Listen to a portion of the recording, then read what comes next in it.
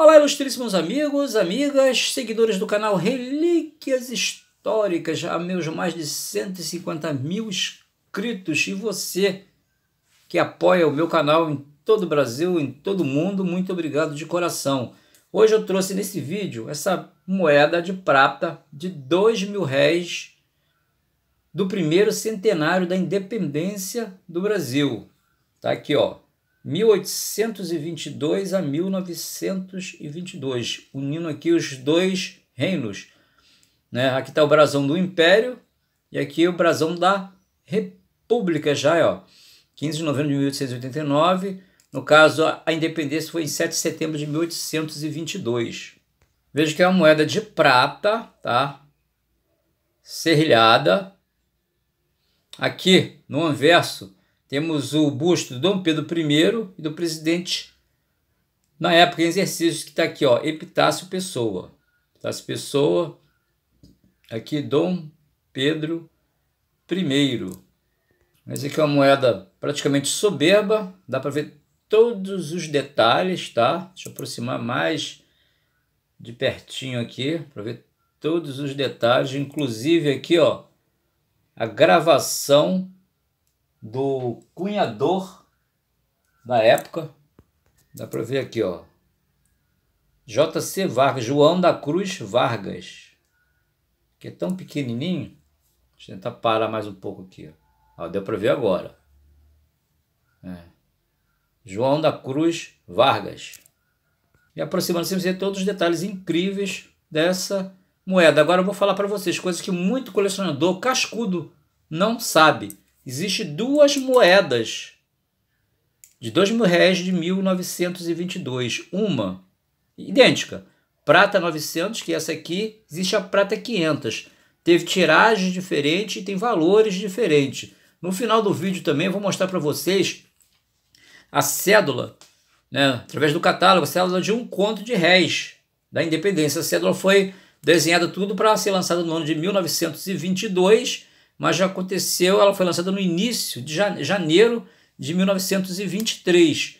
Eu vou mostrar os valores incríveis dessa cédula.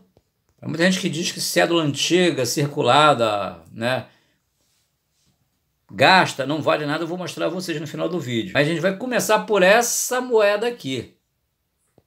Só peço que não se esqueça de se inscrever no canal, ativar o sininho para receber as notificações de todos os vídeos Convido todos vocês para me seguir em todas as redes sociais, todo dia eu posto vídeo lá para vocês.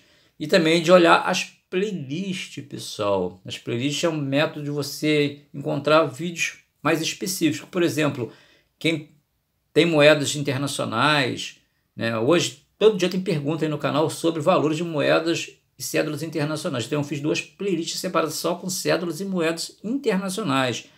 E de coisas internacionais, as maiores perguntas é em torno das moedas americanas. Então separei mais uma playlist só de moedas americanas. Quer saber alguma coisa sobre moedas americanas? Vai nas playlists aí da numismática Josu, é, da numismática Relíquias Históricas.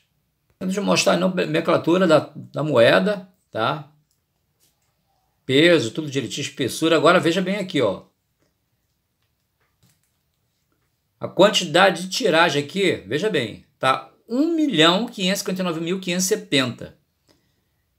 A prata 500 vale menos, 25, 50, 150 e a prata 900, 45, 90 e 250. Mas essa tiragem aqui está dividida. Essa de prata 500 teve 1 milhão e 200 mil peças, tá? 1 milhão e 200 mil peças.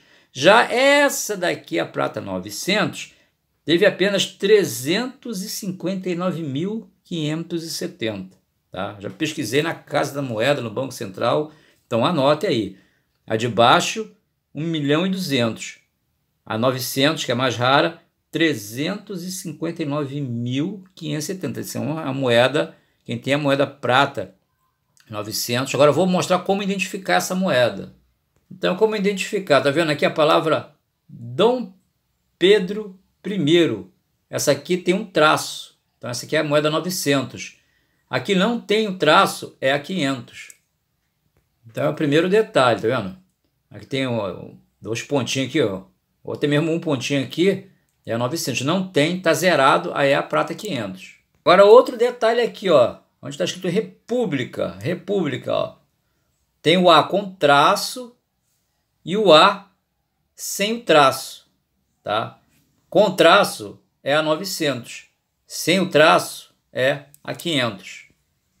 E aqui no Pedro, aqui, ó, dois tracinhos é a 900, sem traço é a 500, conforme mostrei na moeda. E você vai perceber também que algumas moedas 500, elas são desbotadas, tá? A prata legítima ela não fica desbotada. A prata 500, devido à, à circulação dela, muitas ficaram meio que desbotadas. Agora eu vou mostrar a cédula que está na capa do catálogo de cédulas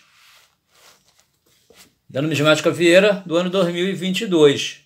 Isso aqui, na parte da frente, Dom Pedro I, um conto de réis, e na parte de trás do livro, aqui, a ilustração da independência pintada aí por Pedro Américo. Então, tá aqui, ó, ela saiu em 1923, um grito do Ipiranga, né? Então ela tá aqui, ó, de 1 a 7, né? Cédula bem rara, 2.500, uma BC, tá, pessoal? Uma MBC, 7 mil reais, uma soberba, 15 mil reais, uma flor de, estampa, 30 mil reais. Então, você conhecer alguém que tem uma cédula dessa em casa, ah, tá rabiscada, esse rabisco aqui em cima, muita gente pensa, ah, foi vandalismo, não foi, tá? Antigamente essa cédula não tinha chancelas, Tá? Então tinha a assinatura do diretor da casa de amortização aqui e aqui, ó, duas assinaturas.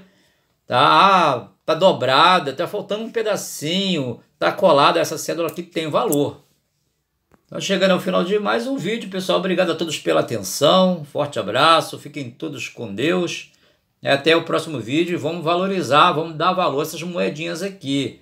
Veja bem que tem, falei da diferença de cunhagem. Uma, um milhão e duzentos mil a outra 359.570. Então, quem tiver essa de prata 900, é a época que essa moeda vai valorizar. Estamos no ano de 2022, essa moeda está fazendo 100 anos.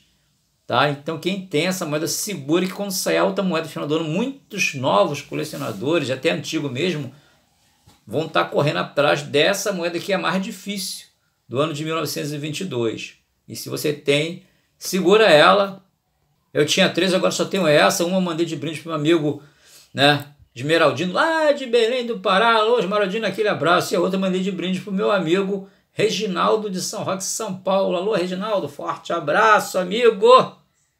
Então é assim, eu fico uma de cada para fazer meus videozinhos. Se tiver sobrando, a gente manda para os amigos.